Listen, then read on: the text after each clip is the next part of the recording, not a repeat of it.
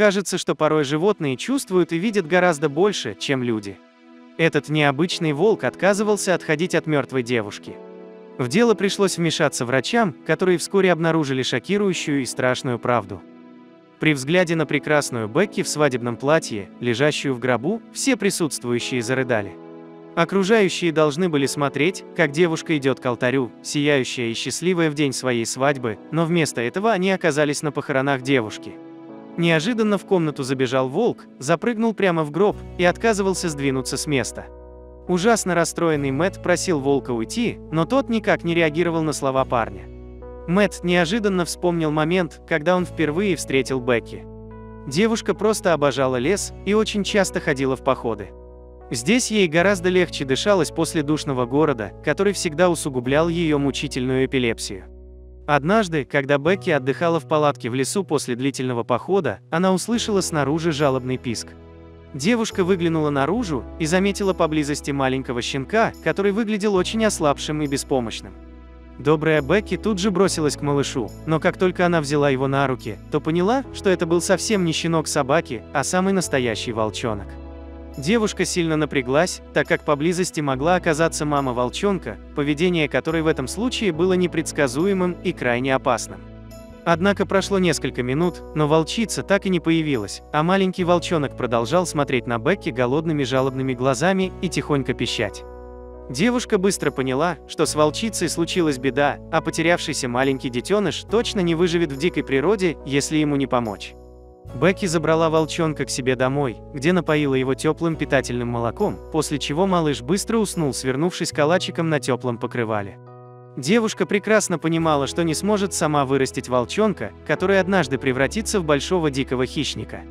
Поэтому Бекки принесла волчонка, которого она назвала Сильвером, в ближайший питомник для диких животных. Отзывчивый сотрудник Мэтт пообещал, что они обязательно позаботятся о Сильвере, и позволил Бекки несколько раз в неделю навещать звереныша.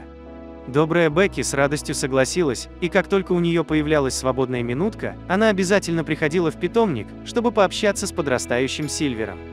Так незаметно Бекки сблизилась не только с волчонком, но и с добрым Мэттом, с которым у них оказалось много общих интересов, в первую очередь это любовь к природе и животным. Мэтт и Бекки вместе ухаживали за Сильвером и относились к растущему волку словно к большой собаке, а зверь отвечал людям взаимностью, благодарный за свое спасение. Когда Мэтт неожиданно предложил Бекки выйти за него замуж, девушка с радостью согласилась, и двое назначили дату свадьбы на ближайшее время. Бекки просто обожала свое свадебное платье, в котором она выглядела невероятно красивой и милой. Вот только болезнь Бекки разрушила все планы молодой пары. Когда однажды Мэтт пришел домой к невесте, то с ужасом обнаружил на кровати ее бездыханное тело. Прибывший вскоре знакомый врач подтвердил, что Бекки умерла, а причиной смерти стала ее эпилепсия. Мэтт не мог сдержать слез, ведь вместо долгожданной свадьбы ему придется хоронить свою любимую невесту. При этом жених решил надеть на умершую девушку свадебное платье, о котором она так долго мечтала. В день похорон, Мэтт, как и многие присутствующие, был очень грустен. Видеть свою красивую невесту в гробу в свадебном платье было просто невыносимо, и слезы наворачивались на глазах сами собой. Мэтт знал, что Сильвер также очень любил Бекки и решил дать ему возможность попрощаться с девушкой. Однако, когда Волк зашел в зал и увидел мертвую Бекки, то повел себя крайне неожиданно. Хищник подбежал к открытому гробу, запрыгнул прямо внутрь и наотрез отказывался выходить обратно. Ни Мэтт, ни остальные присутствующие не могли уговорить Сильвера отойти от тела Бекки. Мэтт понял, что что-то не так, и сразу позвонил в службу спасения. Приехавшие на вызов врачи сначала сильно удивились, но после многочисленных просьб Мэтта они согласились повторно осмотреть умершую девушку. Неожиданно один из врачей вскрикнул и начал что-то шептать своим коллегам.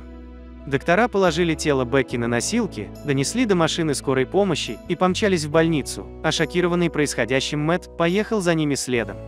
Через несколько минут они добрались до отделения реанимации, куда тут же поместили Бекки. А один из докторов дрожащим голосом объяснил Мэтту, что его невесту ошибочно признали мертвой. Оказывается, у Бекки была каталепсия, чрезвычайно редкая болезнь, при которой у пострадавшего практически отсутствуют любые признаки жизнедеятельности. Это один из редчайших симптомов эпилепсии. Человек в таком случае выглядит так, будто он ушел из жизни.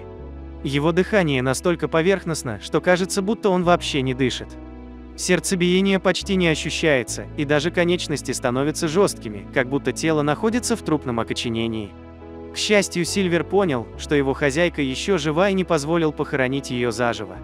В больнице через несколько часов медикам удалось реанимировать Бекки, и они с облегчением сказали Мэтту, что мозг девушки каким-то чудом не пострадал от кислородного голодания. Вскоре Бекки пришла в себя, а когда Мэтт рассказал, что с ней случилось, девушка разрыдалась и долго не могла поверить в происходящее. Бекки думала лишь о том, что она осталась жива лишь благодаря Сильверу, который таким чудесным образом отблагодарил девушку за свое спасение. Мэтт и Бекки вскоре поженились, а самым почетным гостем на свадьбе, конечно же, стал верный волк Сильвер.